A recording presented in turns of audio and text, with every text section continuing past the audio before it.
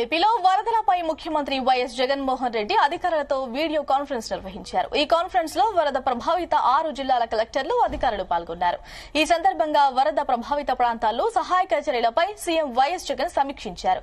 వచ్చే నలభై ఎనిమిది గంటల్లో ఏ ఇల్లు కూడా మిగిలిపోకుండా రెండు వేల రూపాయల ఆర్థిక సహాయాన్ని అలాగే ఇరవై ఐదు కేజీల బియ్యం కేజీ కందిపప్పు కేజీ బంగాళాదుంపలు కేజీ ఉల్లిపాయలు కేజీ పామాయిల్ వరద బాధిత కుటుంబాలకు ఇవ్వాలన్నారు సీఎం. వరదల కారణంగా ఇప్పటి వరకు మరణించిన బాధిత కుటుంబానికి వెంటనే పరిహారం అందించాలని ఆదేశించారు.